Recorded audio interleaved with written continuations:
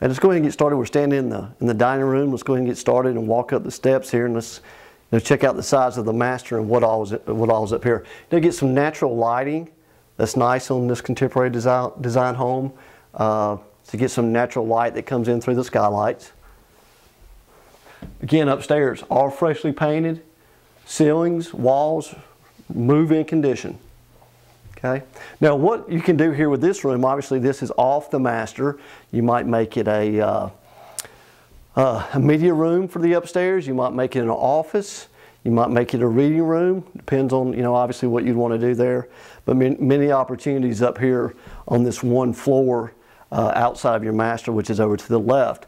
Let's go ahead and walk out here. You have another balcony, again, just off the upstairs. Of course, that great view overlooking the lake. And again, the only thing up here is the carpet. You know, it, it's in great shape, so you might like it the way it is, but, uh, you know, easily be replaced, okay?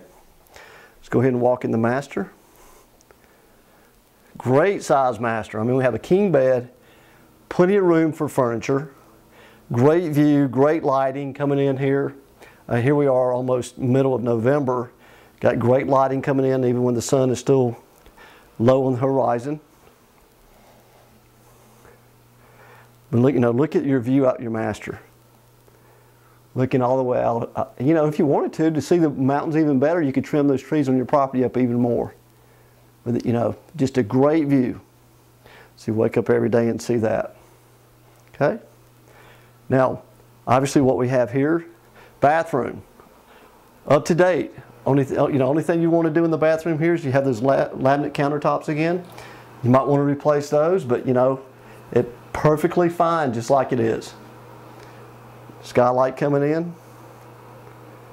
Great size bathroom, tub shower unit, new tile, new paint. Okay. Let's walk back out of the master. And of course you have your closet here. Nice size closet, nice walk-in closet.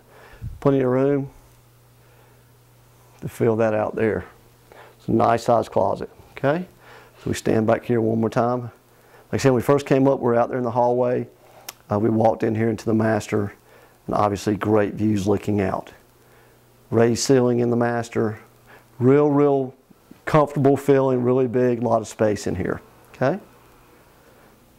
And of course, this room, as we walked up just a moment ago, as we were standing here, it overlooks the great room downstairs. So just a, a neat setup, easy flow, uh, a great opportunity for someone. All right, here's what we're going to do now. We're going to go ahead and walk back down, and we're going to go down to the basement and see what we have down there, okay?